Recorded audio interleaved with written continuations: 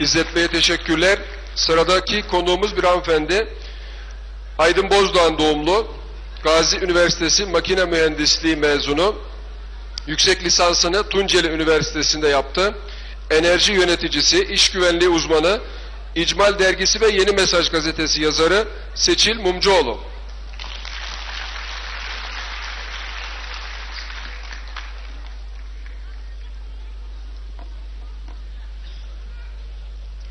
Genel Başkanım, dava arkadaşlarım, değerli Konyalılar ve aziz Türk milleti, sizleri Hazreti Mevlana'nın, Hazreti Şems'in bu vatan için gazi olmuş, şehit olmuş milli kahramanlarımızın ve kısa süre önce Hakk'a uğurladığımız dava arkadaşım, canım arkadaşım Fatma Zehra'nın manevi huzurunda selamlıyorum.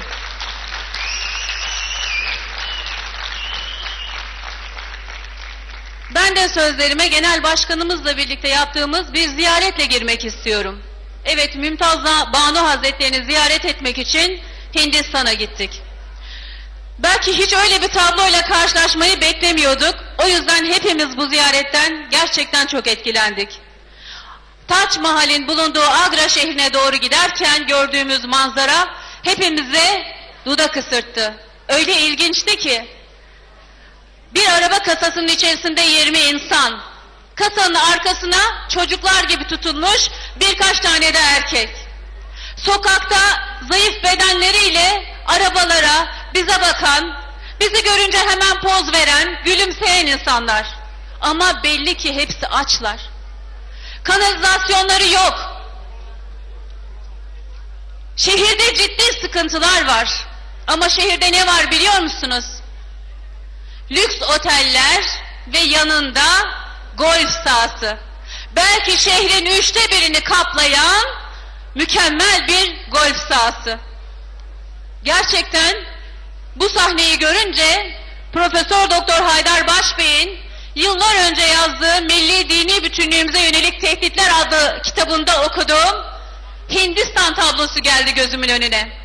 Hindistan aslında kendisine yetebilen nadir ülkelerden ipek, kumaş, mermer, baharat hepsi bu ülkede zaten mevcut olan zenginliklerden.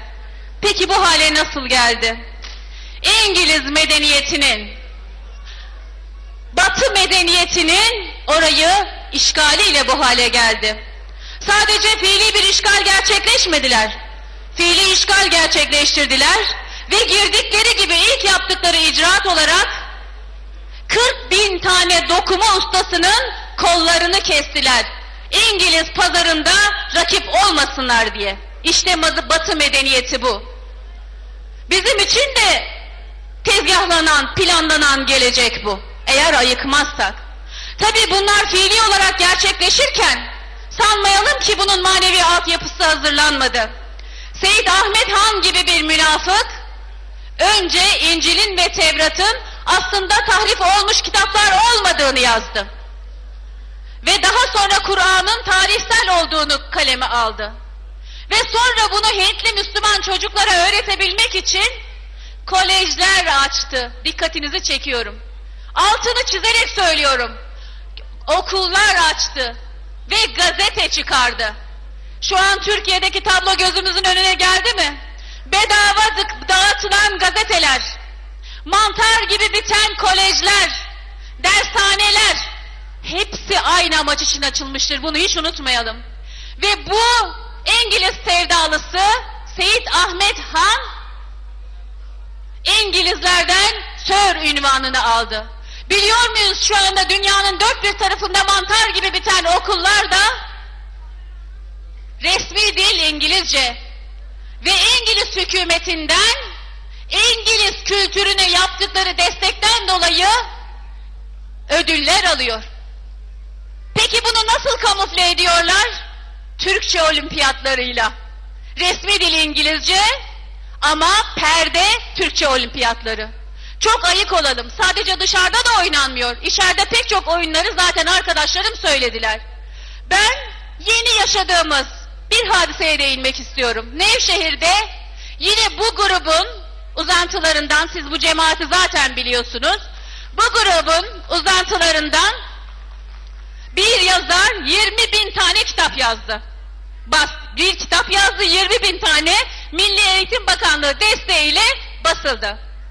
Ve bu çocuklarımıza dağıtıldı. Bu kitabın okunmasından sonra yarışma düzenlenecekmiş. Bakalım peygamberimizin hayatını en iyi kim anladı yarışması. Çünkü kitap güya peygamberimizin hayatını anlatıyor. Bakın 250 küsuruncu sayfasında kitabın ne söyleniyor? Çok dikkatle dinlemenizi istiyorum. Diyor ki bir cennet tasvirinden ve peygamberin sanırım Miraç'tan inişinden bahisle o diyor aslında dünyanın sıkıntılarına niçin dönmek istesin? Elbette dönmek istemezdi. Ama onun bir vazifesi vardı. Bütün insanlığı şefkat ve e, merhametle kucaklayacaktı. Hatta ümmetinden tevhidin ikinci kısmını söylemeyen ve kendisine inanmayanları bile cennete taşımak onun görevi diyor. Öyle enteresan ki arkadaşlar. Hani muhterem üstadım bazen diyor ya, eğer şeytan bunları görse imana gelir diye, neredeyse peygamberin diliyle, peygamberi kullanarak, peygamberimizin sevgisini çocukların gönüllerinden çıkartmaya çalışıyorlar.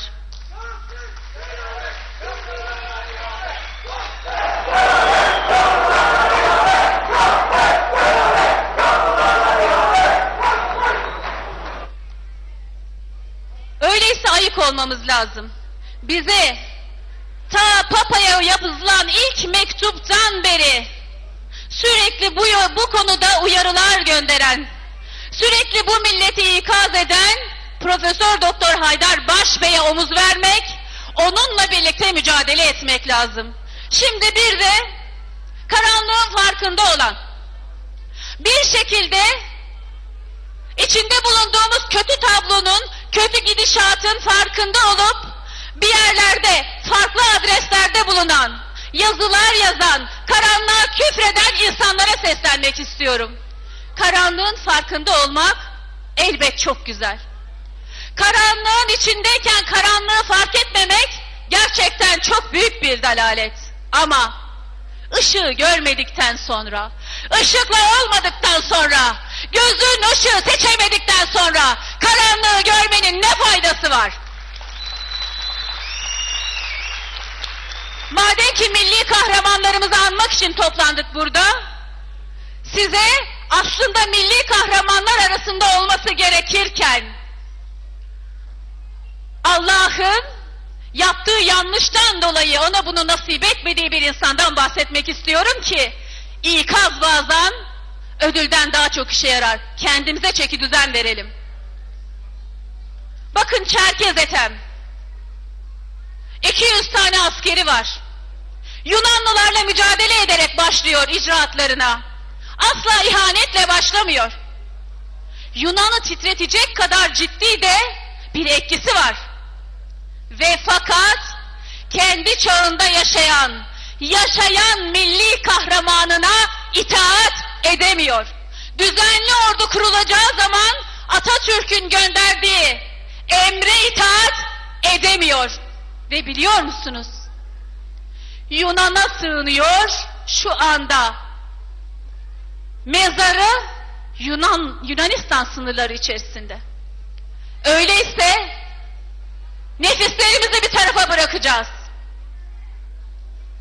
Şahsi mücadelelerimizi bir tarafa bırakacağız. Ve biz Yörük Aleyfe gibi aydınlı olduğum için ondan bahsetmeden geçemeyeceğim. Ve diğer Kurtuluş Savaşı mücahitleri gibi onlar nasıl atalarının yanında olduysa zamanımızda yaşayan milli kahramanımız Profesör Doktor Haydar Başbey'in yanında olacağız ve biz de onunla birlikte devleşeceğiz.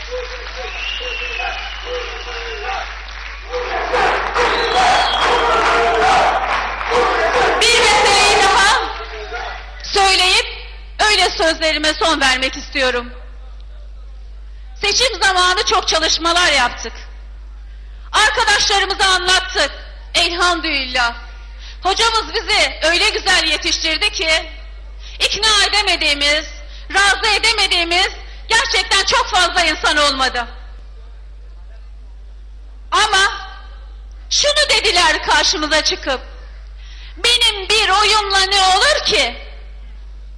Benim bir varlığımla ne olur ki? Şimdi onlara yine milli bir kahramanın yaşadıklarıyla seslenerek müsaade ederseniz Meltem ekranlarından seslenmek istiyorum.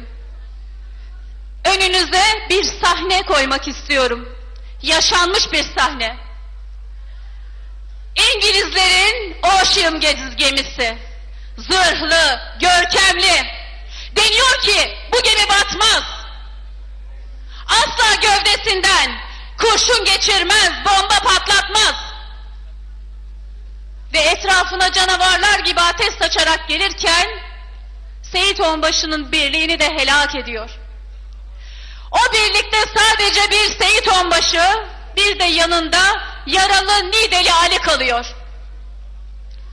Seyit Onbaşı davranıp doğrulduğunda arkadaşlarının hepsinin şehit olduğunu öğrenince demiyor benim güzel kardeşim bir benle ne olur diye. Bakıyor orada bir top. Alt tarafa yanına bakıyor dört tane top mermisi. Her birisi biri 215 okka yani 275 kilogram. Seyit kim bilir kaç gündür aç. Nideli Ali'ye diyor ki bak demiyor senin dediğin gibi bir benden ne olur demiyor. Bakıyor boğaza. Ocean geçiyor. Haçlı geçiyor. İngiliz geçiyor. Diyor ki Ali tutucundan omzuma alayım, sırtıma alayım. Nasıl alacaksın Seyit diyor. Alırız deneyelim. Çünkü mancınık kırık. Mermiyi topa süremiyorlar. Nideli Ali diyor ki ben o üç basamağa çıkarken Seyit Onbaşı'nın kemiklerinin çatırdasını duydum. Ama Seyit şunu biliyor. Güç ve kuvvet sahibi olan Allahu Teala'dır. Ve o annesinden öğrendiği duayı okuyarak La havle ve la kuvvete illa billahil aliyyil azim diyerek tam üç kere o merdivenleri çıkıyor. Sırtında 275 kilogramlık top mermisiyle.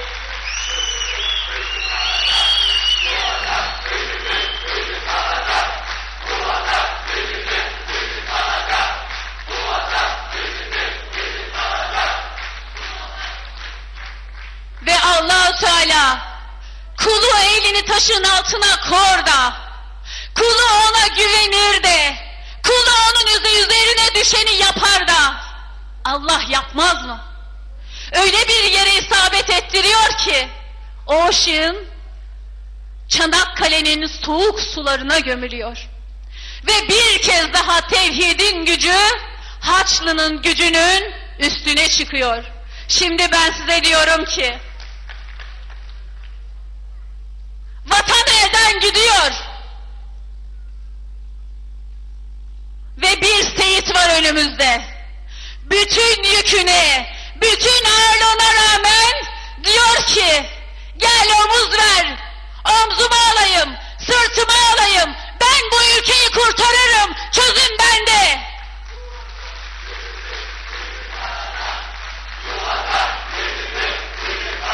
Öyleyse her birimiz tek tek varlığımızla Seyit Onbaşı'nın yanındaki Nideli Ali kadar olamaz mıyız? Ben sizin adınıza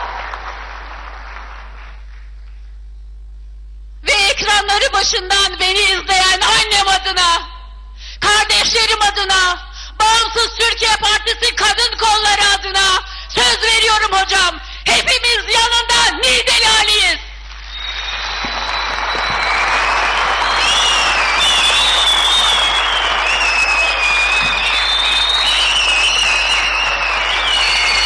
Evet.